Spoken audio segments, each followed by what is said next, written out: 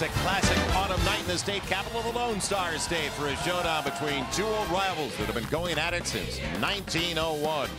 Welcome to Big 12 College Football Saturday presented by Academy Sports and Outdoors. Tonight a matchup the Big 12 South 25th ranked Baylor taking on the Longhorns of Texas. And eight weeks ago, no one could have predicted that Baylor would be on top of the Big 12 South, but the rest, they are looking up now at the Bears. Hi, everybody. Joel Myers alongside Joel Klatt. Welcome to Austin. They are truly the surprise of the entire Big 12. Bowl eligible Joel Klatt for the first time since 1995 for the Baylor Bears. And the reason RG3, what a playmaker, one of the very best in the country, Robert Griffin. Well, I, tell you what, this guy, I love his maturation process from year one in 2008 when really he was a running quarterback, and now he's added passing to his repertoire. This guy is a sensational passer, quick release, and his ability to throw the football is what ultimately has led to the offensive success for Baylor and the big plays that Texas has got to limit here tonight. RG3, quite simply, he's a Heisman candidate, and even Mack Brown will tell you so. He means that much to the Baylor Bears. Well, the Texas Longhorns, what a rarity. They come in off back to back home losses for the first time since Mack Brown took over 13 years ago. Offensively, incredibly inconsistent. The defense, though, that's another story. They have shown up this year. They really have. Even a couple of weeks ago uh, up in Lincoln, Nebraska, when they played so well against that fast Nebraska team, they've got to play to that same level here tonight against Baylor. They got to play great in space for Will Muschamp. And the lead guy for them, Sam Acho, the senior defensive end, he's got to play fantastic here tonight because he will be on that island in the zone read game with Robert Griffin the entire game. He's their best player, he's their leader, and he has to be that guy tonight if Texas wants to beat Baylor in their home stadium. As usual, 100,000, 119 at Texas Memorial Stadium as Colt McCoy has jersey number 12 retired. Only five other Longhorns have accomplished that honor. So a treat for all of us to be here for Big 12 College Football Saturday, all presented by Academy Sports and Outdoors. Stay with us. Great showdown in the Big 12 South. Baylor and Texas coming up next. It's a series that started back in 1901 and it continues on this late October evening 2010 as the Texas Longhorns make their way out of the tunnel. And Art Briles in his third year after a very successful run as the head coach of the Houston Cougars with RG3 right by his side. I don't blame him. Stay right there and he's here. Robert Griffin III. And the toss won by Mack Brown's side, but they have deferred their option to the second half. So Baylor is going to have the football first in such a rarity. And we just heard from Mack Brown in our report from Jim Knox. It's easy when you go 25 and 2 in consecutive seasons. So Justin Tucker is ready to kick it away, the junior from right here, Austin Westlake High School. Mikhail Baker back deep, along with Lanier Sampson. And we are just about ready to go in Austin, Texas. College football Saturday. And what a kick over the head of Baker. And a first and 10 for RG3. And the Baylor Bears at their own 20-yard line. And how hot is Robert Griffin over the last four? The month of October has been amazing for Baylor, averaging 603 yards a game. You look at his season numbers over the last four, he is averaging 350 yards a game passing. Jay Finley, more involved, a guy we'll talk about in the backfield. But Robert Griffin III, Mack Brown said it best. He should be considered strongly for the Heisman Trophy for what he's done this year for the Baylor Bears to first and 10 to the 20. Out on the edge. A little comeback for Williams. So it falls incomplete right there for the sophomore for Dallas. And we mentioned Jay Finley, but the offensive line has picked it up. And according to the offensive coordinator, well, Danny Watkins, the left tackle, he sets the tone for the entire offensive line. Jay Finley comes in, the tailback, off a record-setting day, the best in Bear history. 250 yards rushing last week in their win at 47 to 42 on their home field. So after the drop on first and 10. A check off at the line.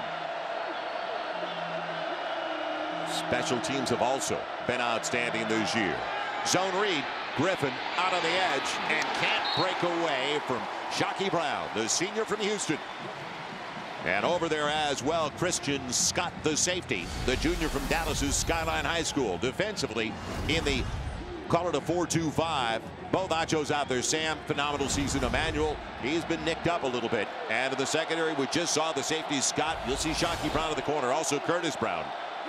With all that experience for the two seniors that are three-year starters on the corners. And honorable mention all Big 12 last year for Curtis Brown. It'll be second and 10 from the 45. Opening two minutes to play. We're scoreless at Texas Memorial Stadium. Darrell Royal Field. And what a sight on a beautiful night. Finley scrambles his way up the middle into the secondary. And what a save by Acho. Got him low and held on for dear life. Safety was coming over a little bit late, though. Keenan Robinson, too. If you don't see a lot of defenders in the middle of the field for Texas, it's because of this system from Baylor. Spreading them out and then getting downhill in the running game like Finley and Griffin both like to do when they run the football. But that's why they're so hard to defend. You got to be on the outside for the bubble screen, and then they crease you right up the middle with the run. Jay Finley with more yardage over the last two games than he had in the first six for the Baylor Bears. And it shows early right past Griffin. Not a bad snap. He lost his concentration and then he loses his footing thanks to Sam Acho. And did it get taken away? Yes! Ball came loose. Acho made the play and Texas covers it. The snap not a bad snap, Joel. Just like you said, it's just to the side. You got to handle that as a quarterback. But then Acho comes in, Ooh, actually trips, trips him. him and gets away with it. the ball comes out. Absolutely gets away with it. Ball was out before Griffin hits the ground, but Texas gets away with a trip there from Sam Acho and gets the football, which is not what they've been doing all season long. This defense has not created turnovers like they have in the past. It's one of the reasons why they're sitting here at four and three in the middle of the season. Yeah, they led the nation in interceptions last year. Came in 106th out of 120 teams in turnover ratio, plus minus margin. And now on first down, big hole up the middle. And on the handoff over to the right side, actually, on the little reverse action. They gave it to the wide receiver, and it goes for good yardage. John Chiles on the reverse, the former quarterback, came here as a quarterback. I will not be surprised at all if Greg Davis empties the playbook here tonight. They've come under a lot of fire offensively here in Austin. Now, Garrett Gilbert throwing for the first time, and a dart taken in. And it's a first down to Malcolm Williams, a junior from Garland. He's right at the marker, should have it inside the 29. Garrett Gilbert has got to be more efficient tonight if they want to beat Baylor. That touchdown to interception ratio of six to eight has got to get better. You have to take care of the football as a quarterback. It's your primary objective, along with getting first downs and touchdowns. If he starts to protect the ball better, they will start to put up more points as an offense. Starting in plus territory and out of the backfield. Scrambling inside the 29, close to the 28 is Monroe, DJ Monroe, the running back. And the offensive line. Left side, the most experienced, the senior with 35 starts, Kyle Hix, the left tackle. Newton was going to get the start. We've already seen Monroe. They'll use Whitaker and Cody Johnson. They haven't settled on one back, though.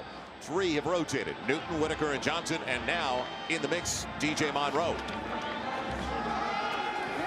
Over to the left side, probing. Nothing out there. So on the short side is Monroe once again. And our Phillips starting 11 defensively. Phil Taylor, he's kind of the man in the middle, of the senior from Clinton, Maryland, who transferred from Penn State. Linebackers, Francis Antonio Johnson, the senior from Waco.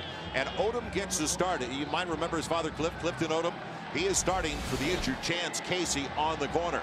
Now, Trey Newton into the backfield. A regular on third and just about seven.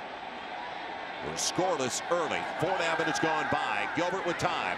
And to the wide side. Not enough for the first down unless, and he did. He got the flag, and it may have been on the face mask. Kirkendoll made the catch. The senior from Round Rock, just a few minutes outside of town.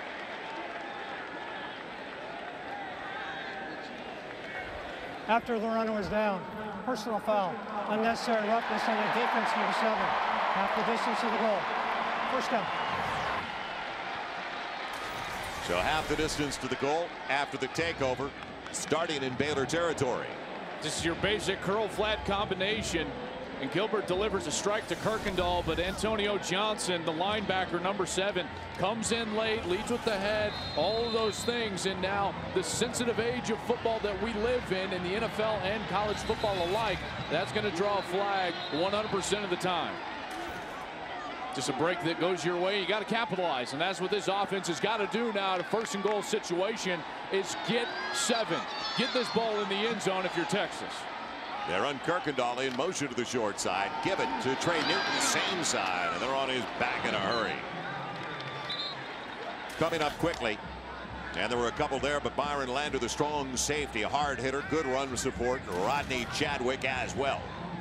No gain on that carry for Trey Newton statistically, Texas doesn't look like they're running the ball very well. Greg Davis told us it's been the style of game that has led them into throwing the ball more like being behind Iowa State a week ago. He wants to establish that run early and keep Robert Griffin off the field. DJ Monroe comes into the game and comes into motion into the backfield. Will he get it? No.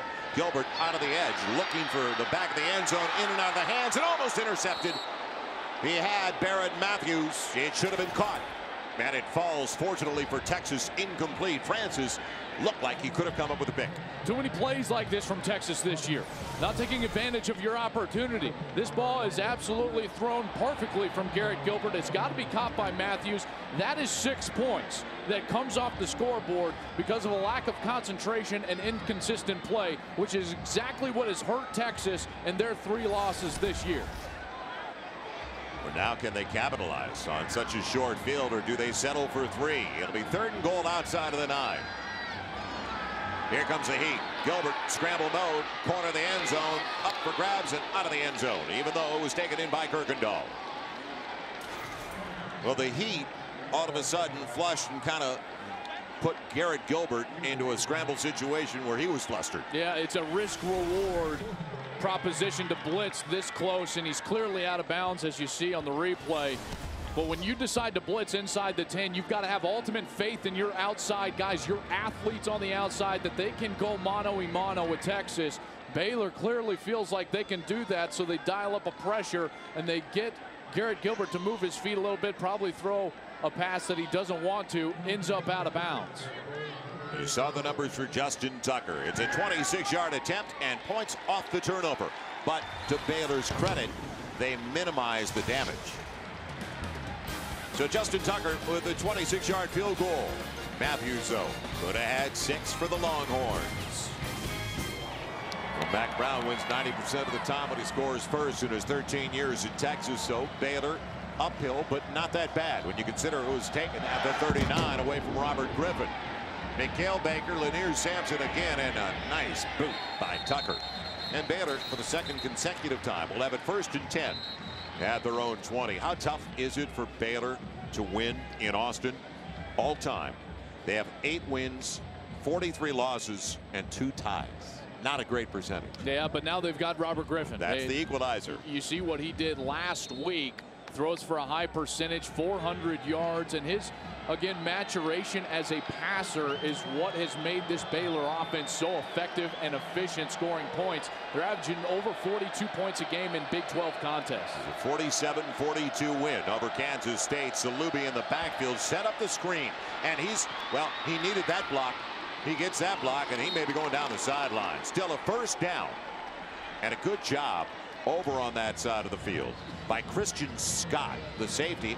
Otherwise, Joel, I think it's a touchdown. Well, they do a great job of faking the bubble screen to the right and then releasing those linemen in the back over. But you're right, Christian Scott, if he gets chopped down, that's going to go probably the distance. There was nobody there, but because Finley had to slow down and avoid Christian Scott, the pursuit was able to get there for Texas. It'll be first and 10 outside of the 37. Zone read for Griffin. And a little dart resourceful, isn't he? Gets it to Josh Gordon. Thought he was going to run it. They took away his first option. It looked like the H-backer tied in, and he finds Gordon. Uh, that's what makes him so tough is he keeps his eyes down the field. As a quarterback, if you've got world-class speed like, like Griffin, you keep your eyes down the field. You just put those defenders in such a tough spot. Do they come up and defend the run, or do they stay with their man in pass coverage? He will beat you regardless of the decision you make. It'll be Finley in the backfield. They've got the sledgehammer in there. Anytime you see 49 in the game, look out. 300-pounder. Cuero, Texas, K. Ron Johnson. He's definitely their K factor. Setting up on the hip of the right tackle. Need a little more than three. Griffin looking back, and he's got it for the first down. And will he stay in bounds? No. Out of bounds, Tevin Reese the true freshman from Temple, Texas. What a little dart by Griffin. How about the accuracy on the run? Everything starts with the zone read from Baylor in order to get the second level and the linebackers up closer to the line of scrimmage. That's how Tevin Reese can get behind them into an open area for the first down. But the dart thrown by Griffin, you're seeing him throw the ball as good as anybody in the country. And with his world-class speed, that's why he should be mentioned and, and in the discussion when you're talking about Heisman Trophy candidates. And Robert Griffin now four of six to start the game, 43 early passing yards. First and 10, 25-yard line of Texas. Underneath, Reese trying to make a miss, which he does. He's a make a miss guy, as the coaches tell us. And he's got nine. And check that. It was Josh Gordon, 12, not 16, as we head down to Jim Knox. Knoxy. All right, Joe, I tell you what, Robert Griffin off to a hot start. Talked to him before the game, and he told me, believe it or not, he's a better quarterback this year, basically for sitting out most of last year. He said he was on the sidelines, got to see more of the game, got to learn, and the game actually slowed down for him. The 10th play of the drive coming up for the Bears that started back at their own 20. Well, they have to settle for a field goal try? Bunch him on the wide side, three over there, and the inside guy, he's got it, but he's short of the first down. Kendall Wright, the junior from Pittsburg, Texas. So the field goal unit coming on, and what a field goal unit has been. The accuracy and the distance on display tonight. The redshirt freshman from Crowley, Texas, Aaron Jones. Is Robert Griffin discusses what he saw and what Art Briles was thinking. It was the second down play that led to this. He did not put air on that ball. That's why Vaccaro blocked it down. It's tough to convert third and anything over five when you're inside the 15-yard line.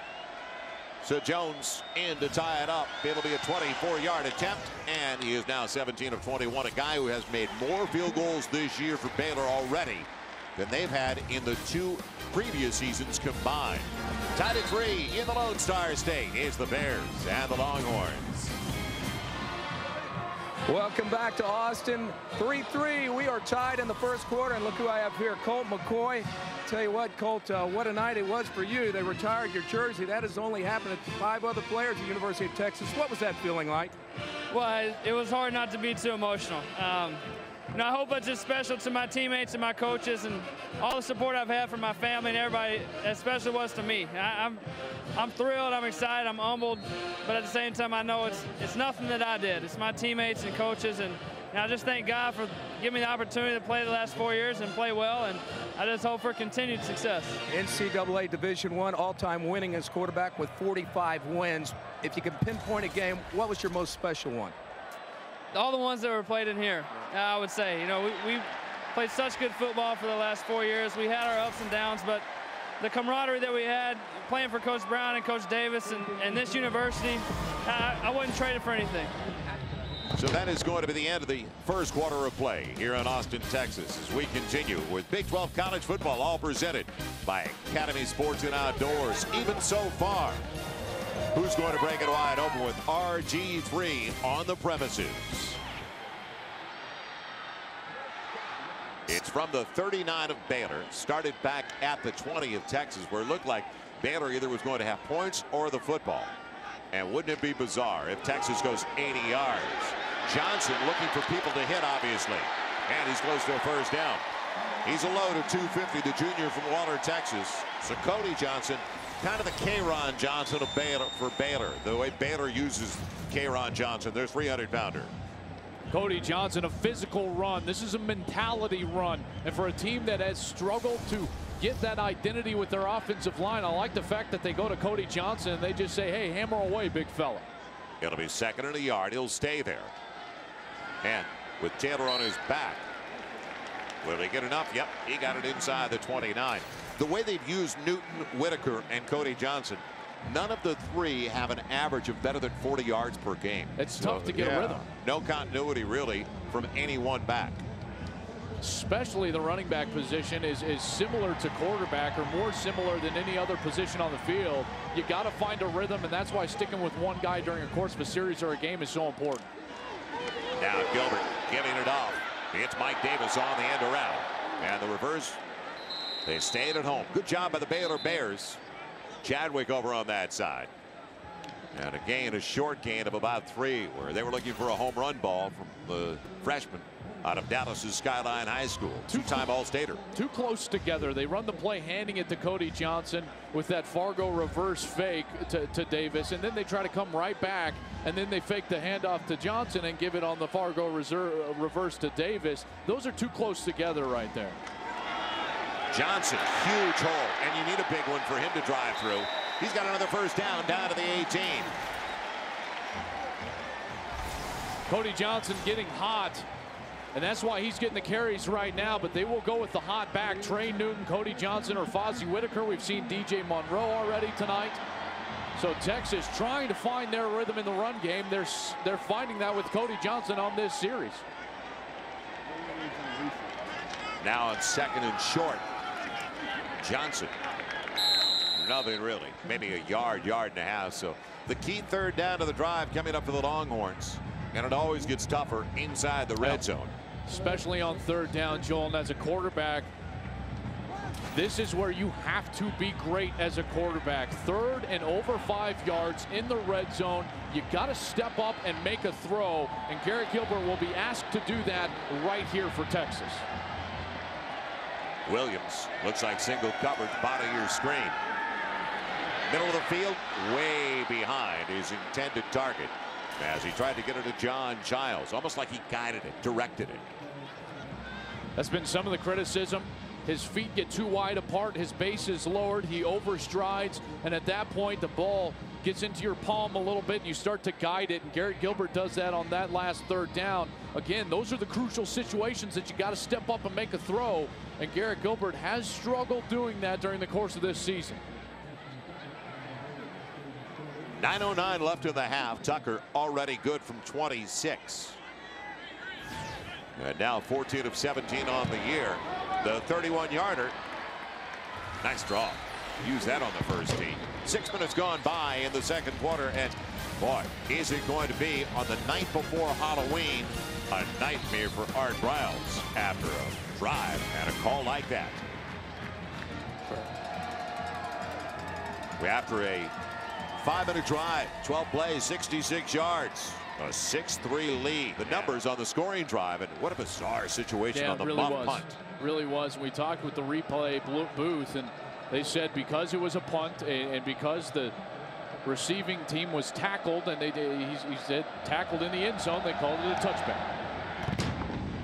Tucker gets into it. It'll be Mikhail Baker, the Bears' all-time leader in kickoff return yardage, and does he ever pay? Boy, did they get downhill, and I mean downhill in a hurry. Longhorns, Aaron Smith on top of the situation.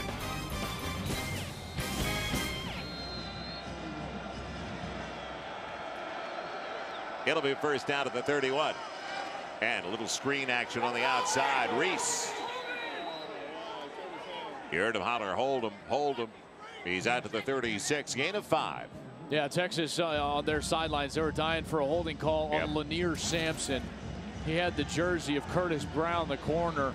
And when Brown was unable to turn back on the outside and Baylor gained the edge, they were dying for a flag. Yeah, and it was a legitimate holler from the sideline, as you saw. So second and five. Baylor averaging 35 a game, only three so far, a little more than eight to play in the half. Griffin. Like a Baryshnikov back there. And now puts it on the ground. Look out. Okafor, who gets it? Okafor at the first shot, and one of the lugs up front. Good job by Baylor's offensive line coming away with the football. Kaufhold, Cameron Kaufhold. And check it, not 71, but Philip Blake, the alert junior center from Toronto. 74, not 71.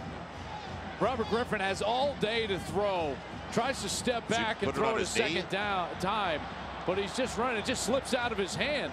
And Texas unable to capitalize. That's Keenan Robinson, terrific outside linebacker, had a chance late, unable to get on the football. And Baylor has some life, even though it's third and 10. Boy, that ball has got to be recovered by Texas. That's why they've struggled so much gaining turnovers. They just have not made plays the entire season. It was first Alex Okafor, and Keenan Robinson, he's got to go down on top of it. He tried to pick it up and run with it. Now, Griffin in trouble and on his way down. The sack. And what a job coming up and making the play, Eddie Jones. The senior from Kilgore, Texas, and he's had just a few surgeries, hasn't he? He has persevered, though, to be playing at this level. Leading the team in sacks with five. Gets to the quarterback. You can see why he's got such a great motor and he understands how to play with leverage. He's not the tallest guy in the world, so at 6'3", 260, he can play with better leverage than most of the offensive tackles and use that to his advantage to gain that edge and get to the quarterback. Now let's see if Curtis Brown does a better job of hanging onto the football this time. Epperson in. He sent out a beauty last time. And another one. Good hang time. Brown took it up high. And I'm talking about high on his chest and making a miss along the sideline across the 45 out to the midfield stripe. So I like it. Mack Brown goes right back with his senior cornerback Curtis Brown after he muffed it, put it on the ground, and they got a break on the call. And Brown rewarded him.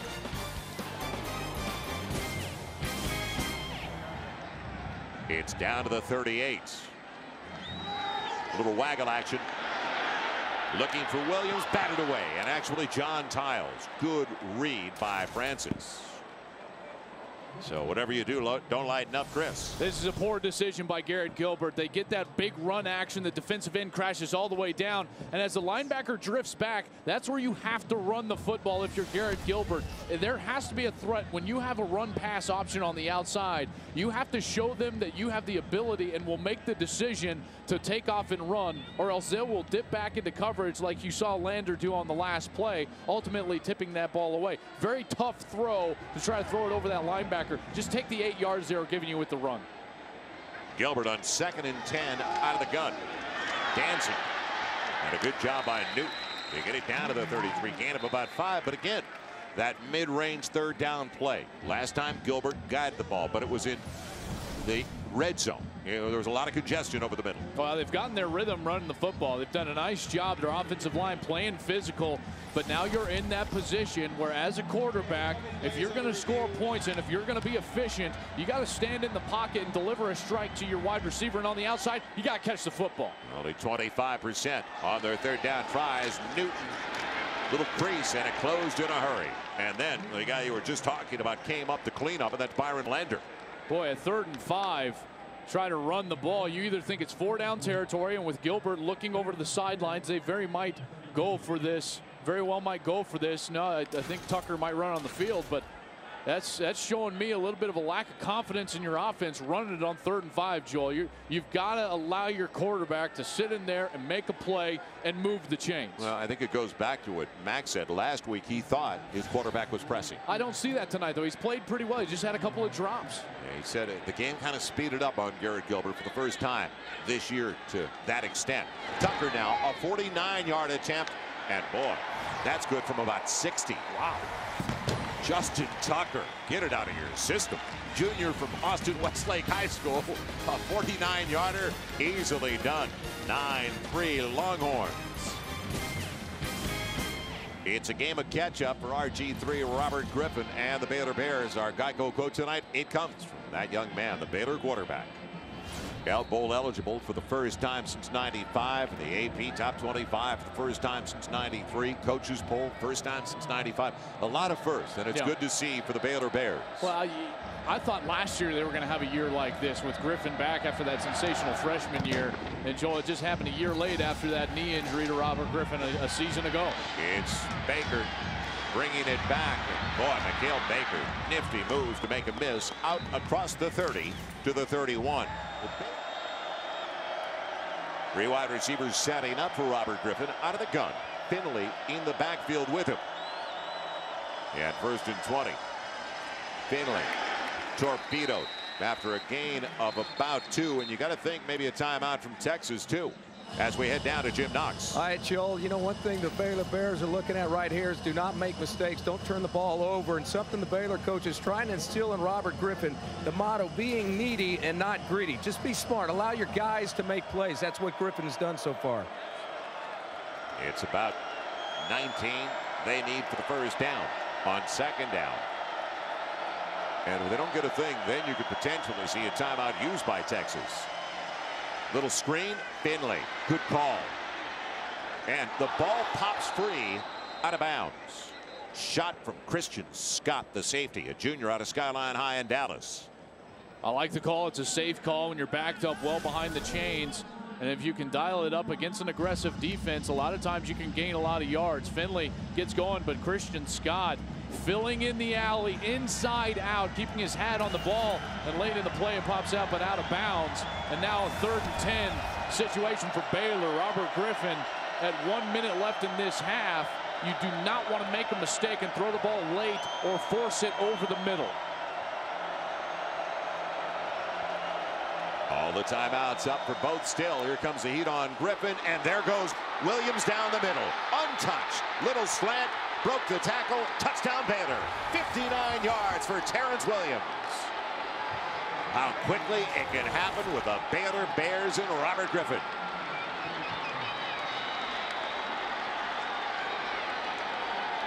Baylor's success offensively is based on space and athleticism.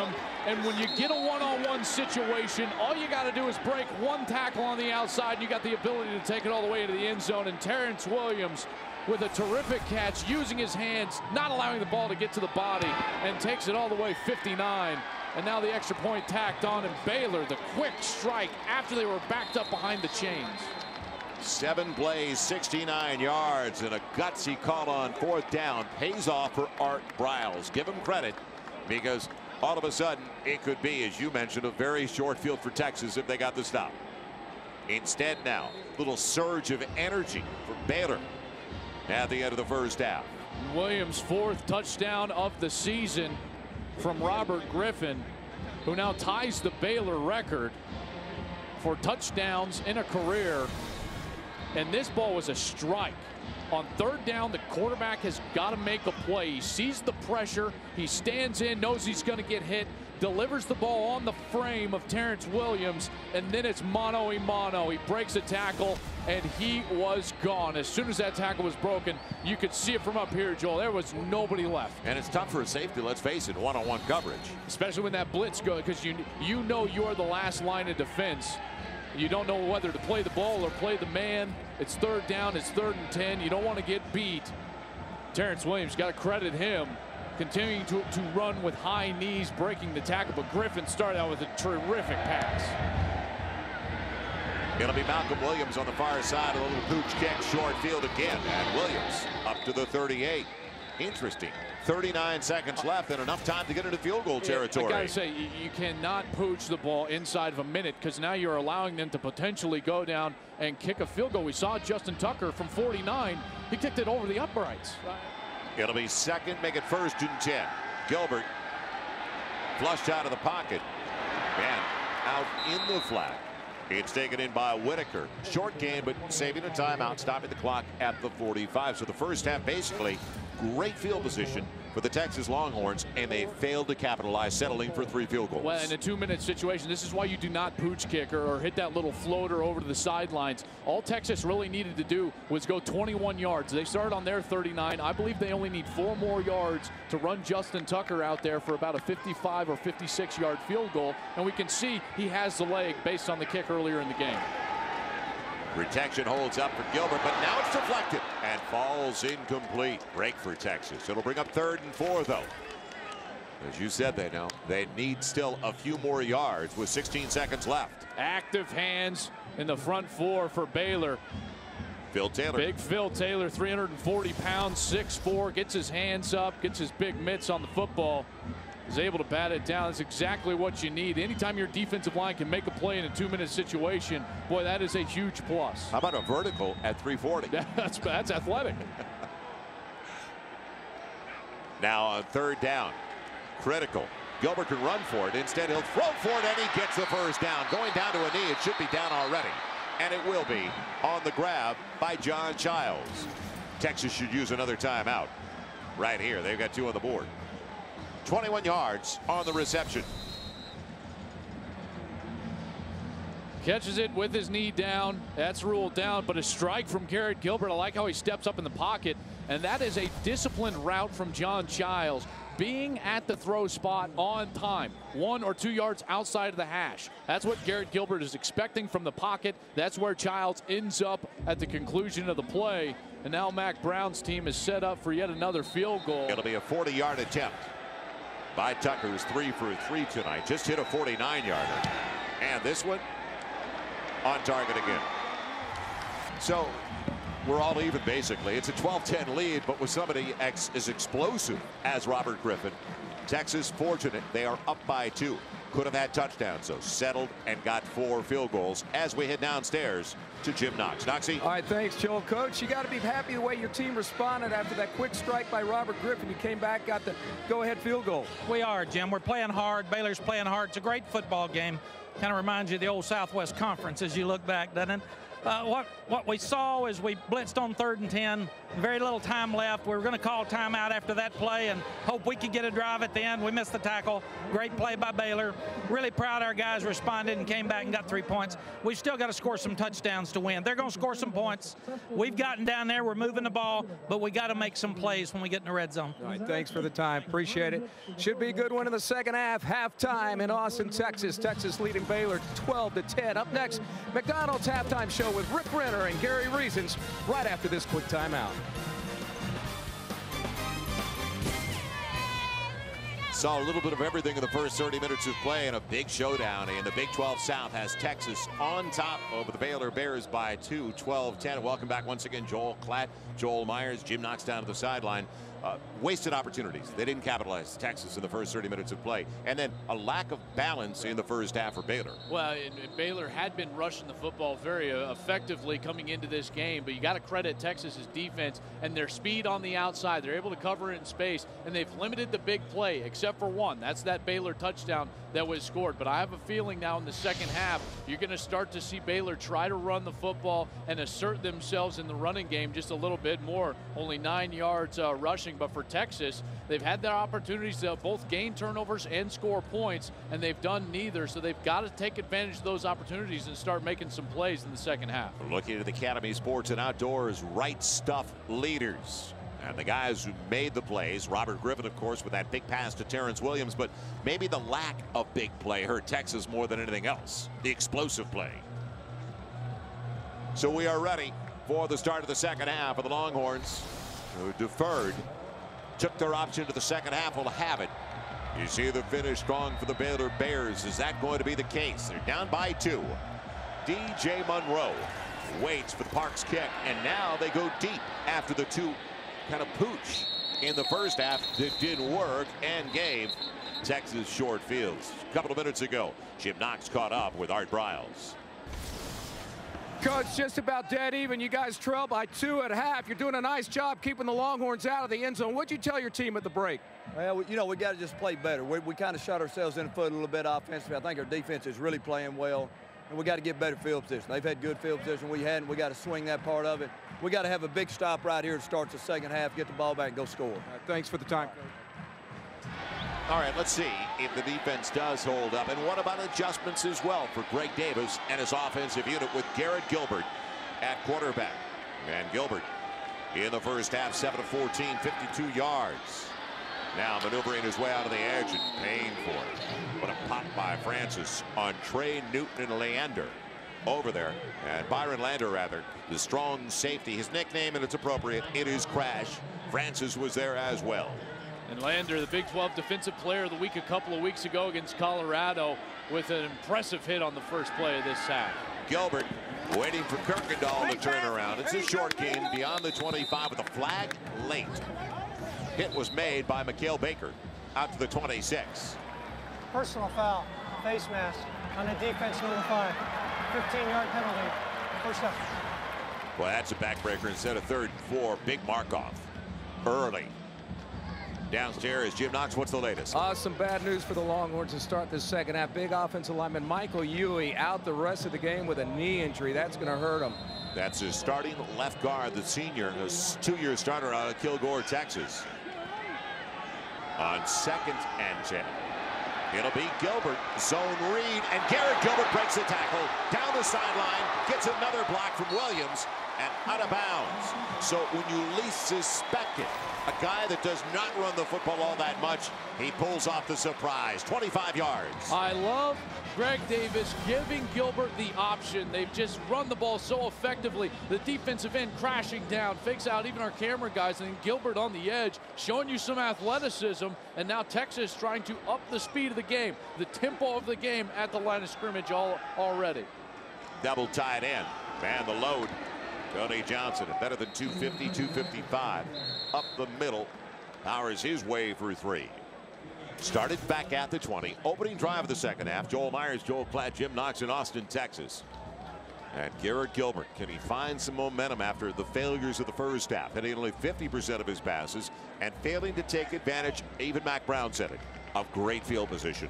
Well, this is exactly what Art Briles did not want to see, telling Jim Knox Uh, he needs his defense to get off the field and provide the Baylor offense with some field position. Texas has gone right down the field now entering the red zone holding him up.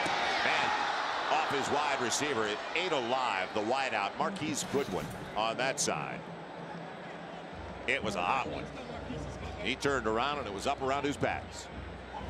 This is a primary example of a young quarterback not understanding the back shoulder throw. And if we freeze it right there, when the wide receiver is pressed all the way to the sideline, by the defensive back. That ball's got to be thrown on the back shoulder so that he can turn, give his frame to the quarterback rather than led up the field. That's too hard. There's, there's too little of a space to catch the ball as a wide receiver and throw the ball as a quarterback. Garrett Gilbert will start learning that as his career moves on. Third and seven. Here comes the heat. He can run for the first down. Now can he get to the goal line to the five?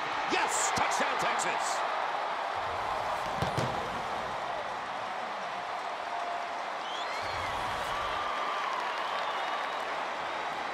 Gilbert with runs of 25 and 20 yards. Key the opening drive of the second half of the Longhorns. This is exactly what Texas needed is someone to step up and make a play. Baylor gets burned on the blitz. They're running the 23 Mike coverage or two Tampa when the Mike linebacker runs with the vertical route in the middle of the field. And as soon as he vacates his area, the quarterback has all sorts of daylight to run, and Gilbert ultimately gets in the end zone. Justin Tucker for the point after, and now a nine-point lead, the biggest of the game for the Longhorns. Trying to snap a two-game home field losing streak. Opening minutes of the second half. Garrett Gilbert, 67 yards passing, 63 rushing. It is a very strange Halloween Eve. They need him to step up. Every There's a point in every young quarterback's career where you got to step up and be a leader. And maybe this is that point or juncture for Garrett Gilbert. Notches in your belt, scoring the touchdown, leading your team down the field. Baker, serious collision. Just past the 15. Seismologists are giving us an update. It's out to the 17, maybe the 18. And that's where Baylor is going to have their first drive of the second half. And unfortunately, you can see the results of that. So Baylor is going to have it at their own 31, and that's ties for the best start for a drive, field position wise, for the Bears and around the big hole. Finley down the seam. Will anybody get him? Finley inside the 30. It looks like he's gone. He is. Touchdown Baylor. 69 yards for Jay Finley coming off the record-setting performance of last week.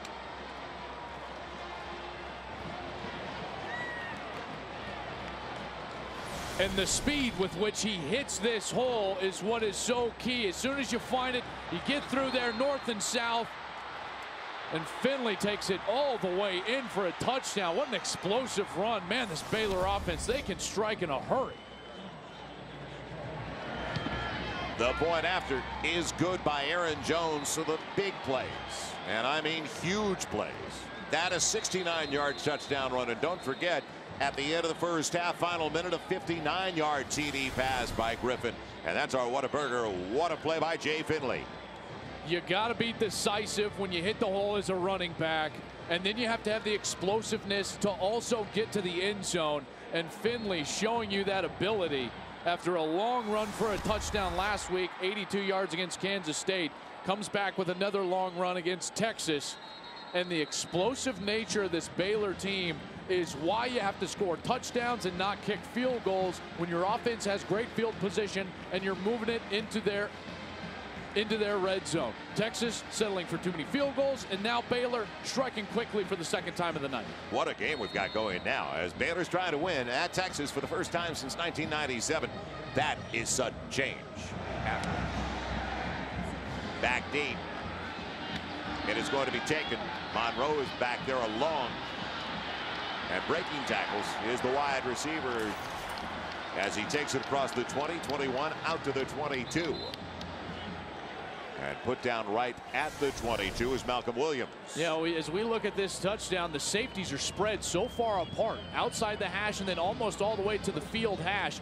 And as they approach the line of scrimmage, this close safety, and I believe that's Christian Scott, runs himself out of the play. Gets way too close to the line of scrimmage. When you're the last line of defense, you've got to hold your ground and be disciplined and not get yourself out of position. So undisciplined football from Texas leads to the long, long touchdown from Jay Finley. Texas now deep in their own territory. How do they respond? Newton barely gets out of the backfield. He stopped after maybe a half yard at the most. And we'll see now how Texas deals with adversity because all of a sudden Baylor shocks them on their home field. Maybe doubt in the back of their mind inside of four left in the third. You got to continue to stick with the run game. It's been successful for you if you're Texas, but now you have to open it up off of the run game. Include Gilbert more on the zone read package. Start to throw a little play action pass in the pocket and not outside of the pocket, taking your shots down the field. Call it second and 10. Monroe, the decoy. Middle of the field, tight end, can't hang on, picked off and going the other way, Antonio Johnson. Look out, here come the Bears inside the 15. On the deflection, the senior from Waco sets it up. He read that perfectly over the middle, and there was a lot of congestion. What concentration from Antonio Johnson to get this interception. They try to roll out of the pocket, but the speed from Baylor has been there all night. And Tim Atchison, the senior from Copperas Cove, Texas, comes up with a big hit on Greg Smith. An illegal hit, a safe hit, lowering that target like people in football have been talking about for two straight weeks. And Johnson coming up with the interception. And now Baylor back in business after a long touchdown inside the red zone with a first down. So Atchison set it up with the pop. Ganaway in the backfield after the long run by Finley. Out of the zone read, Robert Griffin breaks the tackle, scrambles and loses it, but he's already down at the five. Acho almost had him at the line of scrimmage. It's up to Muschamp's defense now to hold him to three. Well, Sam Acho has played the zone read so well tonight, keeping his shoulders parallel, and that's why Griffin has to ultimately ride to the line of scrimmage even longer. You saw him ride that running back even longer to try to pull that ball out and gain positive yards, which he does, and he shows you his athleticism getting inside the five. Umpire came up real quickly. Now Griffin, he's ready to go as they set on second and four at the five, looking for the lead.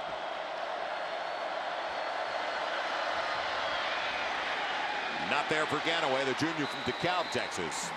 It'll be third and four from the same spot.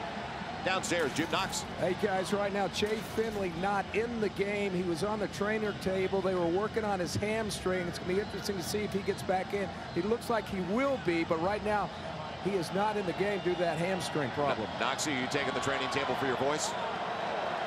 A little bit, Joe. Just okay, a little. all right. we need an injury update for Jim Knox.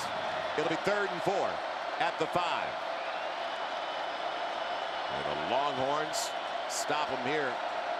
Hold him to a potential three. Griffin by design. It's his call. Cutting it back. And he's going to be short of the first down. They'll put him down to the two. Needed to get close to the one.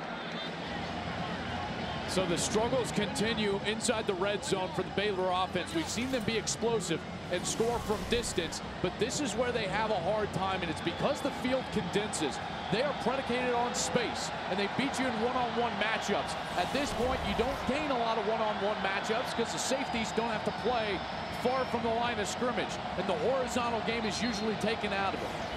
Art Briles, I don't disagree. This is too important. They're going to call a timeout. I know it's early in the second half, but he is going to stop it to set things up on fourth and a yard. Here it is, fourth and a yard from the two. Griffin got the first and goal. He is put down inside the one, but he got the first down, I'm almost certain. They say the ball came free. Griffin, man, the Bears say he was already down. Man, I believe that's the call anyway. Yeah, he just had to get it inside the one. He's inches away from the goal line, so it was the appropriate call. But it should be first and goal there. It all started on the pick by Antonio Johnson. Atchison with a big hit. Johnson off the deflection. And now first and goal Baylor. So the two for two on fourth downs. They were expensive those those timeouts. Let's see if it pays off. Over the top. Did he get in? No. Boy, pretty good scrum going on. Robert Griffin denied again. And and like a fighter, those are some pretty good body shots. Yeah, absolutely. Tries to go over the top, which is so tough. And, and correctly, they're going to call him down right about you know four inches, five inches away from the goal line. This is a great time to fake the run and get Griffin up out in space in a run pass option. Won't get there again unless he gets a second effort. No whistle yet. They have now they finally blow it dead. They're waiting. Forward progress, you can see where it's going to be marked. This is precious real estate. It absolutely is. And Will Muschamp knows it. Art Briles knows it. And the 100,000 here at Darrell K. Royal, Texas Memorial Stadium, they know it as well. As the clock is dwindling down in the third quarter, and the Texas defense urging the fans to get in on this one. Third and goal. Baylor has to get in the end zone. You cannot settle for a field goal in this situation. They're going to have to settle for the opposite end. That's the end of three. Which is smart because they were going to the close into the stadium. Come down here where the sound is not quite as much of a factor. What a good one of the Big 12 South. Texas by two, but that lead in jeopardy when we come back at the end of the third, 19-17 Longhorns. And you're watching Big 12 College Football Saturday, presented by Academy Sports Outdoors. It's the start of the fourth in Austin. Welcome back once again. Our Jack of the Box game summary. Texas still fairly inconsistent, Joel Klatt, offensively. They have been, but they have been sparked by Garrett Gilbert and what he's been able to do on the ground, a career high 76 rushing yards. But the big play has hurt Texas from Baylor. Those two big touchdowns have what put them in this situation. Now third and goal for Baylor. And they've got Phil Taylor in the backfield. The dive on the quarterback sneak. No word yet. And where will they put it? Touchdown Baylor. They have taken the lead.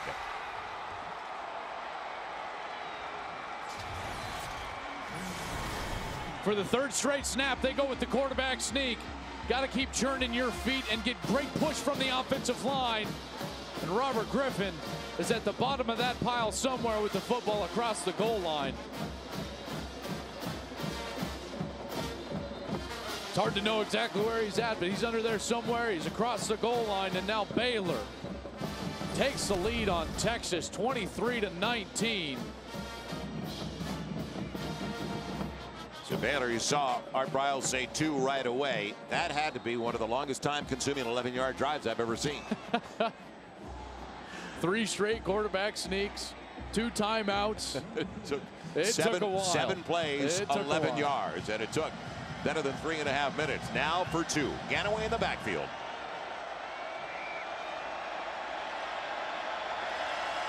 It'll be Griffin looking to K-Rod, and he can't hang on. Garon Johnson available. It was there.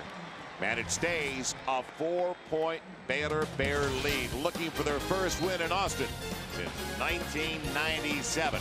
And the Bears lead at the opening minute of the fourth. Welcome back to Austin.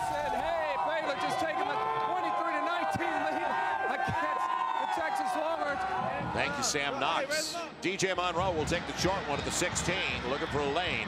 Man, he'll be dropped shy of the 30. He'll give it on a little counter action. Man, dropped for a loss. DJ Monroe. Byron Landor's been all over the place. A strong safety. He leads the Bears and stops. Senior from Lake Charles, Louisiana. Yeah, came in with 76 tackles. That was good for third in the Big 12. Gilbert out of the gun. Flushed out. Gene Petites forced him. Gilbert running for his life and gets out of bounds after he's pushed out by Antonio Johnson. So right now the difference, the pick by Johnson, the touchdown, a four-point lead, and up until that point, Texas had not turned it over. And that's what they came in as a point of emphasis, creating takeaways, and they already had two tonight, but they gave it away.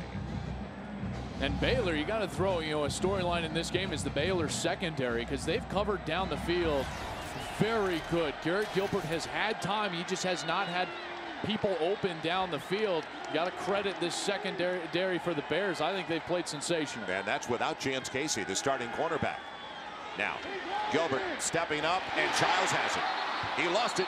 Incomplete. It was there, but with Atchison on his back, he pried it loose.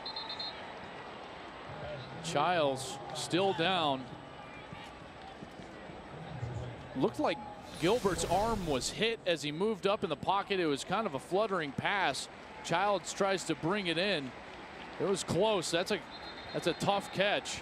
It was it was losing it all the way down though, and fortunately Chiles back up. It looked like Phil Taylor had the pressure on the quarterback. Yeah, and so uh, the ball definitely was tipped or his arm hit or something in the pocket. Gilbert trying to avoid the rush, but credit the front seven for Baylor. They've gotten after him in this drive, putting him behind the sticks. Chris Burke waits back for the punt. Man, Tucker handling both place kicking and punting duties. The end over ender. And the fair catch back at the 15. So a long field, but just the same. Baylor on top. Three minutes into the fourth in Austin. Now the heat is on Texas. Finley in the backfield. And a different mentality. Robert Griffin getting a block from Finley and into the secondary he goes. Breaking a tackle and a face mask and a flag. And it's coming across the 40 and tack on some yardage there. Emmanuel Acho doing anything he could to get to Robert Griffin. Personal foul.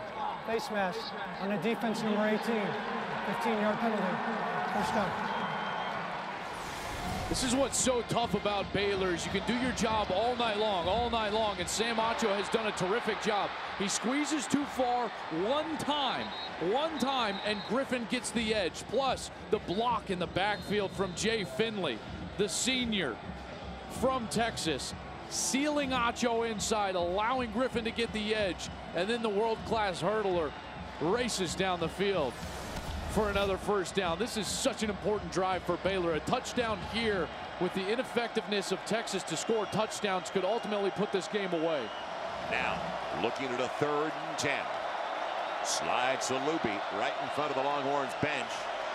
And over the middle, get the first down on the quick hitter by the speedster.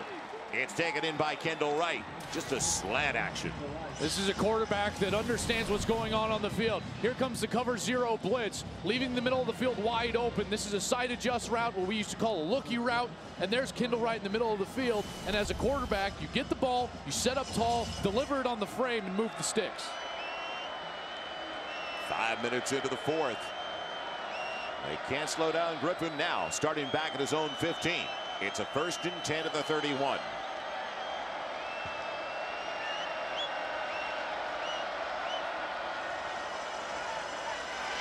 Acho rips down Griffin. So Finley tried to take it, and there's a guy who succeeded just a little here. Sideline disappointed so far, but knows with the comebacks that he orchestrated, Chase McCoy. that there's plenty of time left. Uh, this is such a quarterback-oriented game, and that's why Baylor has the lead right now. That's why Baylor is ranked and Texas is not, is because they've got Robert Griffin. The guy is a sensational player. And, of course, Colt McCoy on the sideline. That's why Texas was so good for four years. That's why they won the national championship with Vince Young, and they were in the game last year with Colt McCoy. So now Griffin out of the gun on second and 10. Still with Finley in the backfield. Finley trying to bolt, and down low they had him. That was Emmanuel Acho, the junior from Dallas, couldn't scramble away. And uh, Finley hobbled a little bit. You can tell he is not 100% out there. Not 100%. They were working on his hamstring a little bit earlier. After that long run for a touchdown, he might have pulled up a little bit lame, but boy, this Texas defense understanding the importance of this drive and what they have to do to get off the field, not only to hold them to a field goal, but possibly off the field with no points for Baylor. And they get the 10. Over the middle, they'll get more than 10. Down the middle, touchdown, Kendall Wright. 30 yards. No safety in the neighborhood.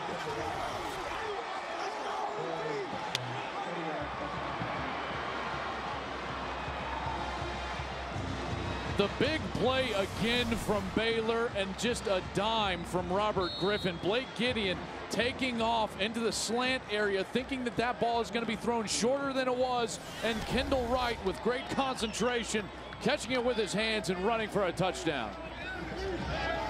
Extra point from Aaron Jones is perfect and they are stunned in Austin. So Baylor all-time record established tonight by Robert Griffin. He shatters the books for the Bears who lead by 11. They are stunned right now in Austin. Bears on the touchdown of 30 yards to Kendall Wright with an 11-point lead. As back deep, it'll be Monroe stacking up with Malcolm Williams. Ben Parks will kick it away for the Baylor Bears. And boy, already 6 and 2 and in the top 25. This would be huge for the Baylor program. High one, Monroe. Trying to make a miss and a flag with a block in the back. It looked like it may have been a running made for the backfield with a block in the back, Fozzy Whittaker. During the return, blocking the back, number 28 of the return team. 10 yard penalty. First down. It was Whitaker. So the heat on the young quarterback Garrett Gilbert with Trey Newton in the backfield. Here comes the blitz. It eludes the pressure momentarily. And now coming back out the is Mike Davis. Davis has the first down across the 30. Give Gilbert credit. As we look back on the touchdown, what about the safety? Well, here's Blake Gideon. He's a single high safety, which means he's got the deep third responsibility. He tries to gamble on the eyes of the quarterback, Robert Griffin, and go for the slant route as he takes off for that alley. As soon as he misses the pass, there's no one left deep for the Texas defense, and Kendall Wright scores easily once that ball clears Gideon's head.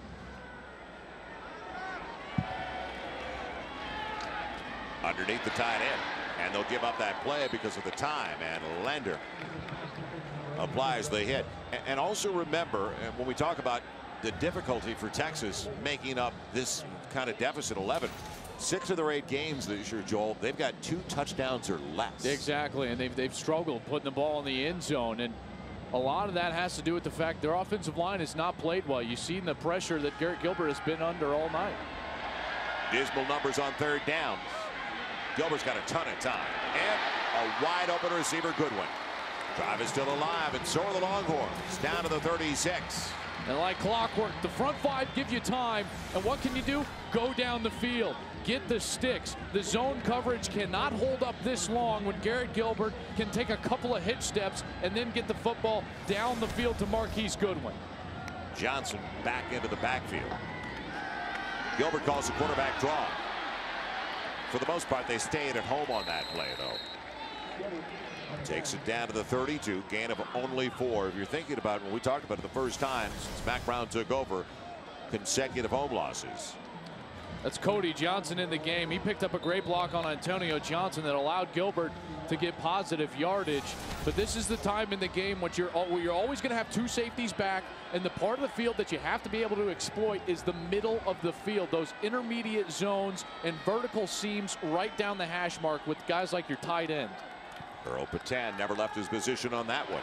Now it's out to the playmaker. Can he break a tackle? Yes, he can. Mike Davis, the true freshman, this is the one guy that we've been told by the staff that really has home run ability. Yeah, he does. He's a, just a true freshman, but he's coming into his own on that last play. And I, I, like the fact that you get him the ball in space. They try to run a pressure, and Tim Atchison doesn't get to his spot soon enough to safety. If you're going to blitz, you got to roll that safety up so he's covering the flat sooner. He's late, and the result is a first down. First down at the 19.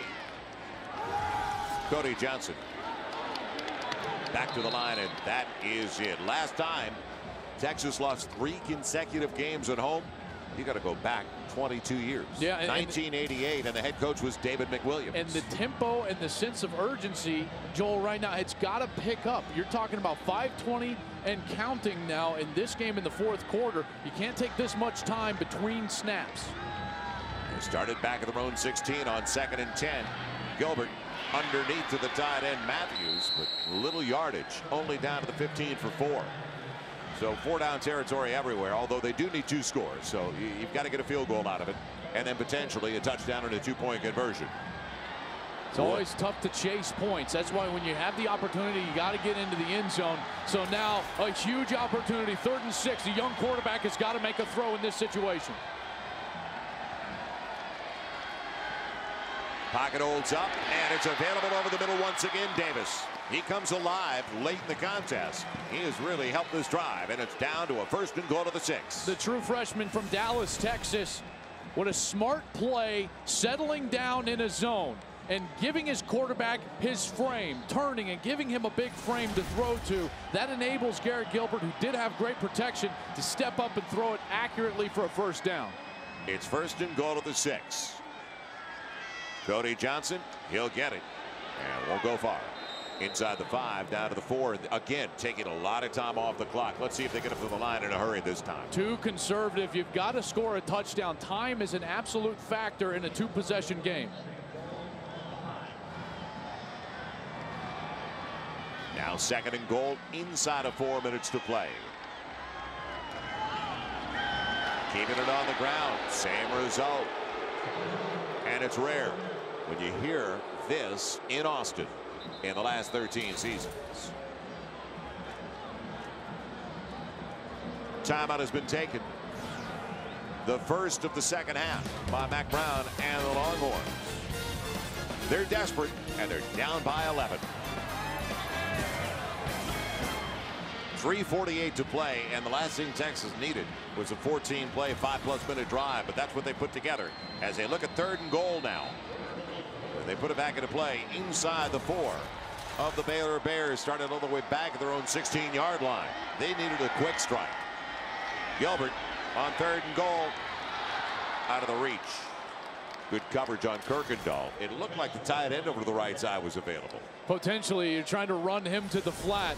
Greg Smith is going to take off to the flat and run a bit of a crossing route with the top two receivers. The corner did sit, so I see why Garrett Gilbert got off of that read. The corner stayed wide outside of the hash mark, but really the questioning I'm going to do is on first and second down, just running the ball, taking time off the clock, not getting in the end zone, not giving yourself an opportunity to maybe throw three times into the end zone, get yourself three chances to score, and now Tucker's got to attempt another field goal. And the chances, that's the key.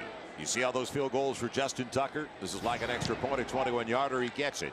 So now it's a one score game. If they can get a two point conversion, just get the ball back. There's no guarantee, though, with Robert Griffin that they can get it back against a, a team that's top five offensively in the nation. So they are stunned, to say the least, because ever since Mack Brown took over, they have not experienced adversity quite like this.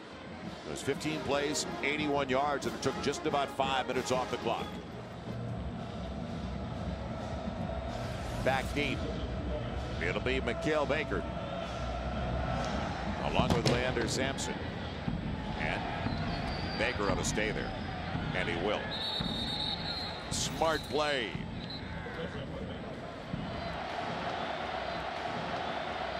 Finley takes his shot. Ball security is the key now. And they'll keep it on the ground. It'll be second and 10 from the 20. Two timeouts left, three and a half to play for Texas. And at this point, Robert Griffin has to be aware of the play clock. It's right underneath the goalpost at the far end zone. Two clocks right on the left and right hand side of the goalpost. Do not snap this ball. If the play clock and game clock are running, you snap it inside of five seconds. He is taking his time. See, he's wired to you. It's in his helmet. He doesn't have his coordinator in his helmet. Now, inside of five, here we go. Second and 10. Finley again. Man, getting him low, Keenan Robinson. So now, Texas will take a timeout with good reason. Man, it started very slowly for Baylor in the second half, but they picked it up. They absolutely did. And with the big play. And, and, and also a short field in the middle off the interception by Antonio Johnson. Last time they won here, well, Art Briles wasn't around. It was back in 1997. They won it by two. And they won in Austin 23 to 21 November 1st of 97.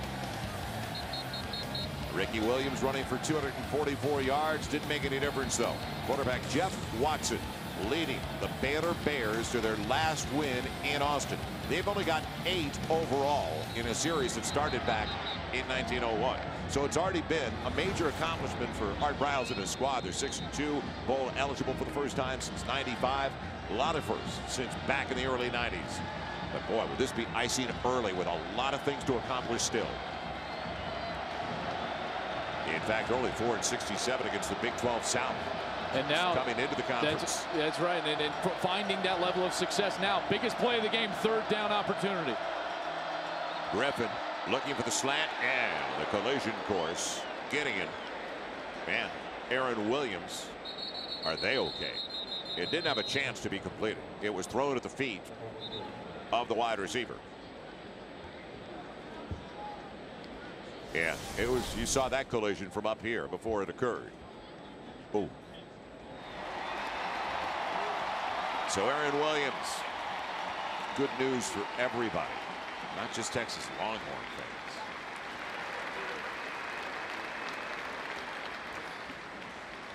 Came on a third down, so believe it or not, Texas is going to get the football back. But that is very secondary. And uh, you know the unimportance of of the game all of a sudden you know in a, in an instant perspective adjusted for a hundred plus thousand here in Austin and now Baylor to punt the football away 249 left Joel Texas down by eight Curtis Brown back to receive this punt and they should get fairly good field position although Baylor's punter Epperson he's hit some beauties here tonight two-time all Big 12 performer Epperson.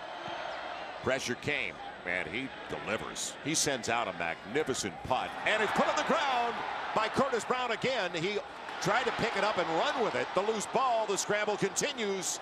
And who's got it? Did Baylor come away with it? They're saying they've got it. That should do it if they do recover the, and they do. Second fumble of the night for Curtis Brown after a 69-yard punt by Epperson. And an angled punt, forcing Curtis Brown to run all the way to the sidelines. Flag now on the field with some helmets off. So there'll be some penalties now on Texas. But that was caused by the punt. Curtis Brown sprinting backwards and, and angled almost like a center fielder into the gap. After the play was over, unsportsmanlike conduct. Number three, Texas, half the distance to the goal. First down. Trahan, who's been in the middle of things on specials. We saw him earlier in the game.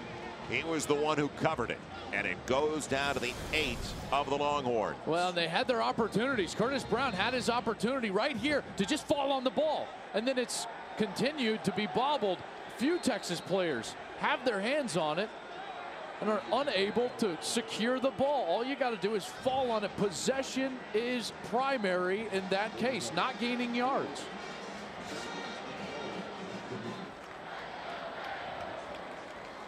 They're counted down, and you think they're celebrating about, what, 90 miles away at the most in Waco? I think I'm going to health camp for a shake tonight. On the circle. It's official. That's it. Baylor has done it. They have upset the Texas Longhorns, winning here for the first time since 1997. They have shocked the Texas Longhorns and 100,000 faithful tonight at Memorial Stadium.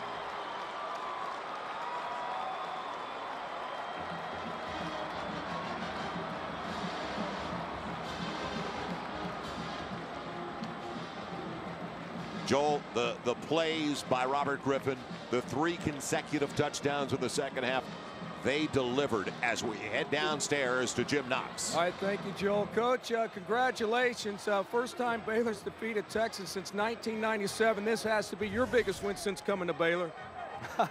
well, they're, they're all big, you know, without a doubt. I'm just so proud of our guys' resiliency.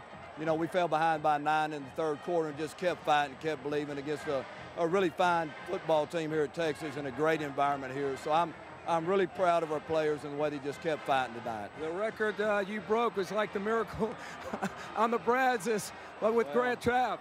Well, we're just trying to get better each week, Jim, and that's that's been our motto all year. We, we just think about what we have to do that Saturday. We don't look at the big picture. We focus on the small picture. The small picture tonight was beating Texas at Texas. How about the job Robert Griffin did tonight? You guys needed points in the second half, and you got them in the end zone. Uh, best quarterback in America, in my opinion, no doubt. Talk about what it does for this team. What has been the turnaround Art, on this team? What has been the turnaround since Be- you've been here belief, at Baylor? Belief, attitude, effort, and a very much of a, a hunger, desire to, to excel. These guys, and we have been whipped around for a while, so they, they're working hard to make it feel right, and it feels good. All right, congratulations on the big win. Joel? Well, uh, nobody's going to dispute his claim that he's the best quarterback in America. Even Mack Brown said Robert Griffin is to the Baylor Bears what Vince Young was to the Texas Longhorns. He is that much of a playmaker and a guy that changes the game completely. For Joel Klatt, Jim Knox, our entire College Football Saturday crew, I'm Joel Myers. Thanks for joining us. What a night for Baylor in Austin. Have a great weekend, everybody.